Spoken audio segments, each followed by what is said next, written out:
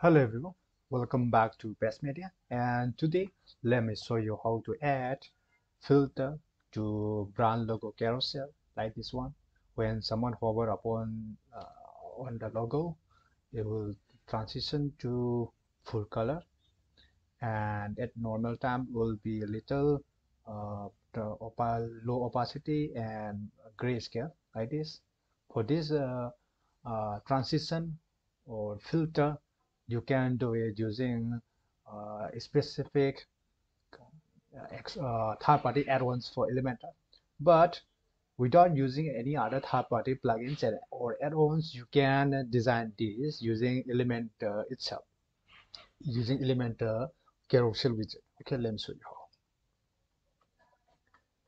Okay, let's edit this widget and edit. Let's just carousel okay this one image carousel insert it here. And then add logos. I have already uploaded a uh, few logos. Here like this one. Make sure they are of the same dimension.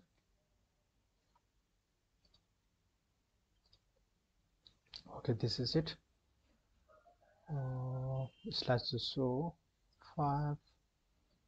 Okay slash scroll one. Mm-hmm. Mm-hmm. this is at normal times without you adding the filter.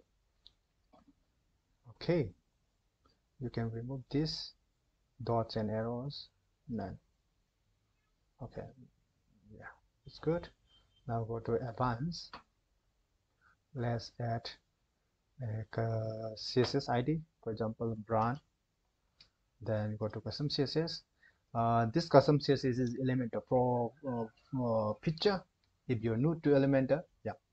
And if you do not have elementor pro then you can use third-party add-ons like master add-ons for elementor to add custom css to elementor. Even without using these uh, uh, elementor add-ons you can add custom css through customizer or other uh, options to add custom css there are a lot of ways to add custom css okay? Now here using elementor pro let's add custom css brand this is the uh, css id there we have added here in the layout. Here this one. Okay then img for the image then filter grayscale. 100 percent.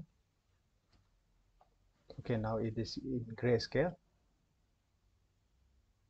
Okay then let's add uh, opacity. About uh, 0.45 now it's good.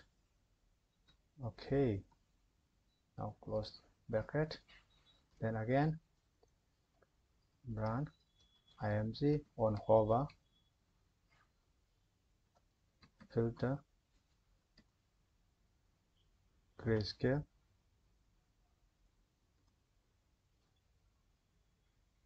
zero percent.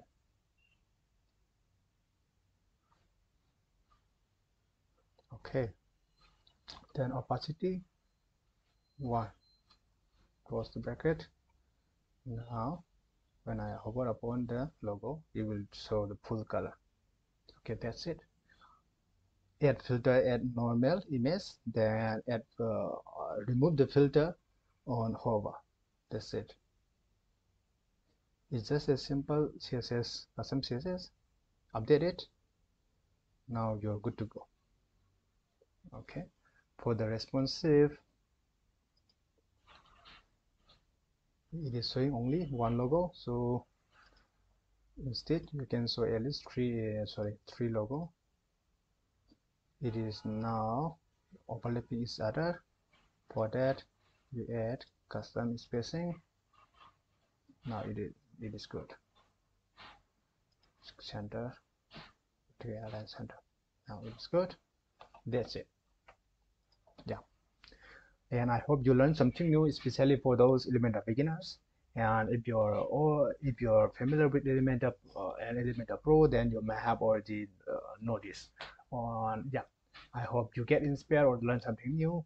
If you like this video please don't forget to click the thumbs up button subscribe and comment. Okay see you in the next video. Bye bye